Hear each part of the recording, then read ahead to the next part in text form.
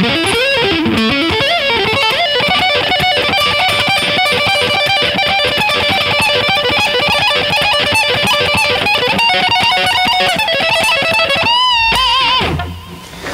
привет! Это Николай Скалов. А, в этом уроке мы с вами попробуем посмотреть этот небольшой отрывочек соло гитариста Криса Бордрика. А, начинается он с небольшого обыгрывания арпеджио. Вот, играется триолями. Раз, два, три, раз, два, три, раз, два, три. Обратите внимание, что здесь мы будем играть с вами приемом свип. Все удары у нас пойдут вниз. Значит, попробуем это сыграть. Значит, здесь мы ставим, с вами ставим лесенку, небольшую лесенку. Получается четвертая струна, третья и вторая у нас будет э, четвертая, лад, третий и второй. Вот. И обратите внимание на следующий момент, что когда мы с вами играем прием свип, такие вот э, моменты, то желательно пальчики потом убирать, чтобы не было такого. Вот эта вся грязь у вас будет звучать. Поэтому здесь мы играем сыграли, то есть до, до второй струны второго лада, затем сделали хаммер. Потом переходим на вторую струну, ой, э, на первую струну, играем третий лад и шестой лад хаммер. Затем делаем с вами слайд. Давайте сделаем на первой струне еще один удар медиатора, то есть когда мы придем в шестой лад, чтобы у нас плотненький был слайд. То есть получается, сыграли, сделали, сделали слайд в девятый лад.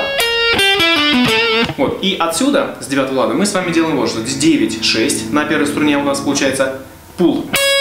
То есть мы сделали, у нас пришел сюда слайд, потом мы делаем с вами пул в шестой лад.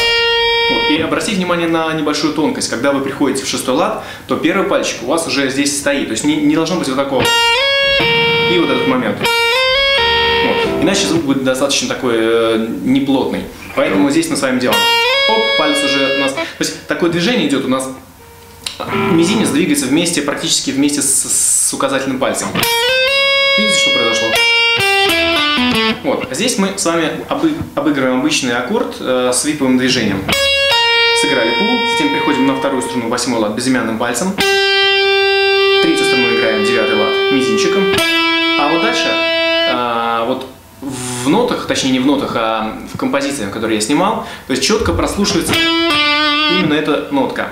Вот. По, по логике, конечно, ну, не совсем увидел логику, поэтому, в принципе, сыграем как у Криса Бордрика. То есть вот такой ход. Но, в принципе, красивее бы было сыграть все-таки, потому что там идет намек э, на, на ля мажор вот на этот аккорд. Поэтому для искушенных, так сказать, слушателей и учеников можно сыграть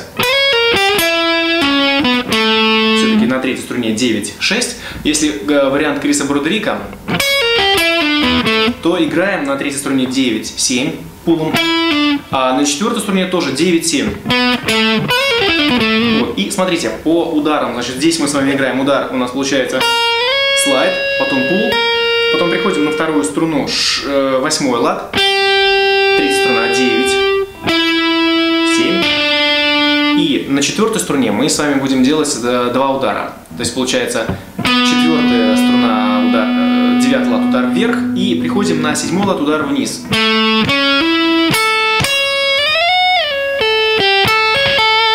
И здесь у нас с вами будет такой интересный ход. Отсюда.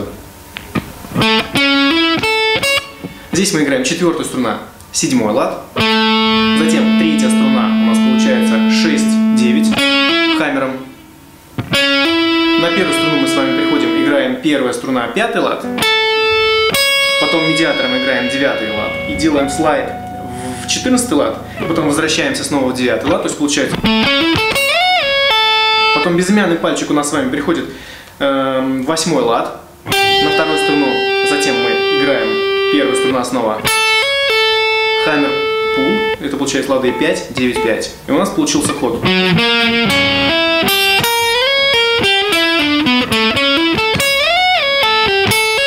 Вот такой вот небольшой отрывочек. Дальше у нас с вами идет пулеметная техника.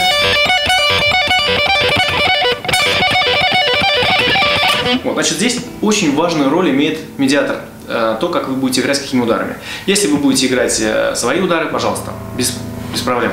Вот, но если хотите именно добиться так, так, так, так, так, так, вот этого быстрого темпа, то лучше все-таки сыграть удары, таких, как я покажу вам сейчас. То есть получается первую струну мы с вами играем.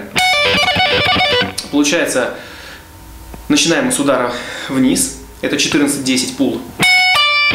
И приходим ударом вверх на вторую струну. То есть получился вниз, пул, вверх на 12 лад.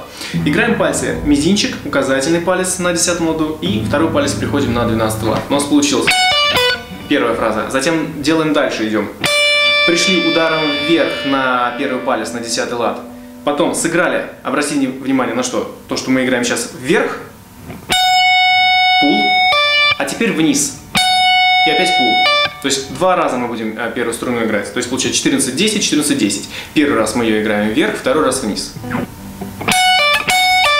сыграли. Теперь пришли снова ударом вверх на вторую струну 12 лада. Сыграли. Потом опять то же самое проделаем. Удар вниз на первую струну 10 лад. Потом удар вверх на 14 потом делаем пул. И потом удар вниз на 14 делаем снова пул. Сыграли. Потом у нас с вами идет э, такой ход. То есть получается чередуем две нотки получается 15, 14, 15, 14. То есть получилось. Сыграли, затем чередуем ноты. Сыграли два раза этот ход. То есть сейчас этот ход более подробно разберем.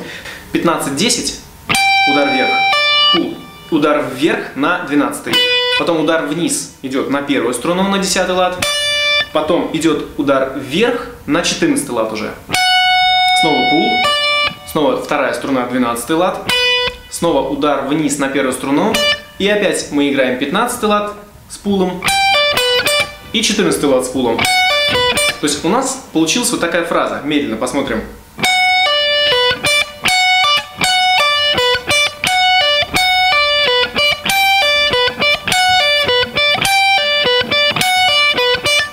Получилось.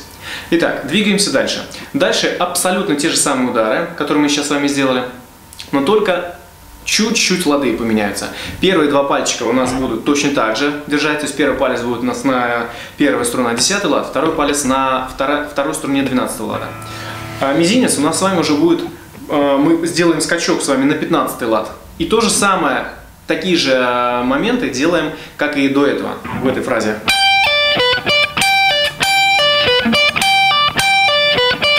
А теперь чередуем ноты. Первая струна 17 лад, 15, потом снова 17, 15, да. Здесь, э, без сомнения, огромная растяжка. Ну, что делать? Либо не играть, либо пытаться. И получается у нас фраза. Вот. Теперь дальше у нас начинается подобная тоже фраза, только другие лады. Уже получается с 16 лада мы с вами будем играть. Первая струна 16, ну, естественно, 10, и вторая сторона 12. Получается опять такие же удары у нас.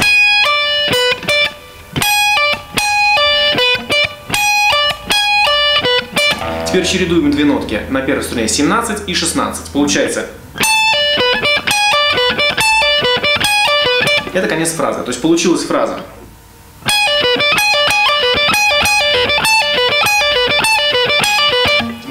Дальше идет фраза у нас немножечко попроще, может быть, потому что она будет короче. И все. Здесь у нас мы играем с вами, смотрите, первый лад, э, первый палец ставим на 14 лад баре, малая баре, две струны, первую и вторую. И здесь мы с вами играем всего лишь одну нотку на мизинчиком, это получается 18 лад. Те же самые удары, все то же самое, только в конце чередования нот не будет. То есть получается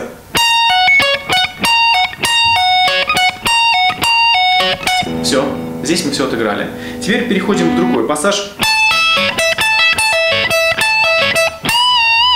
Значит, здесь у нас немножечко фраза будет покороче, но тем не менее тоже интересно. Значит, получается, мы ставим, первая струна у нас рабочей лады получается 17-12, второй палец на 14 ладу на второй струне. Удары абсолютно такие же. То есть получается, мы сыграли пул, пришли во вторую струну, опять на первую. Потом снова два раза мы сделали пулы, вторая струна. Теперь один раз пул и приходим на вторую струну. А теперь делаем подтяжку. И здесь уже можно ее повибрировать как следует. Получилась фраза.